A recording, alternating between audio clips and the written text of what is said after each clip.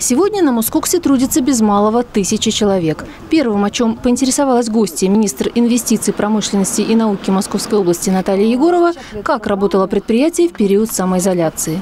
Управляющий директор Сергей Билан отметил, что завод не останавливался ни на один день.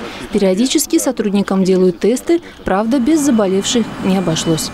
Практически месяц мы работали со сокращенной численностью, а управленческий персонал практически весь на удаленке. И сегодня половина управленческого персонала на удаленке.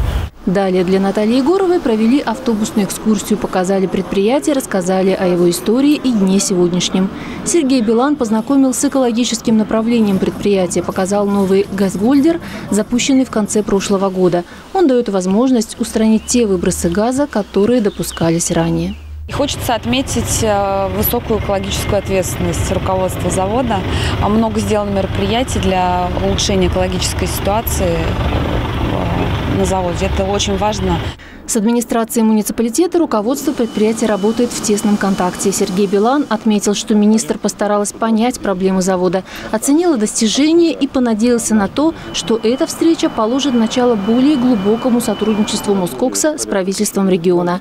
И первый шаг – предложение Натальи Егоровой поучаствовать в программе поддержки предприятий.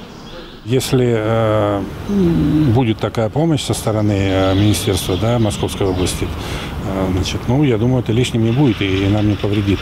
Сегодня в данной ситуации ну, полезно, наверное, будет это. Наталья Егорова пообещала, это не последняя встреча и пожелала предприятию процветания и новых достижений. Татьяна Брылова, Кирилл Иванов, Елена Кошелева. Видное ТВ.